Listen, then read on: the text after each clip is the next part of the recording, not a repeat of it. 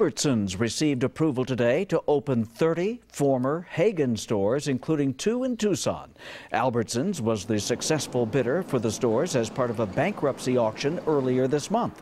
The two stores in Tucson were Safeway stores that had been sold to Haggen earlier in the year. The Albertsons CEO says the new stores will have the opportunity to create great jobs in these communities.